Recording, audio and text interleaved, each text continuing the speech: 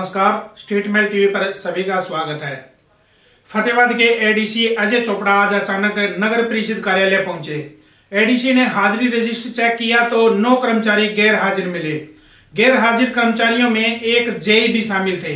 ADC ने कहा कि गैर हाजिर कर्मचारियों को नोटिस जारी कर जवाब मांगा जाएगा।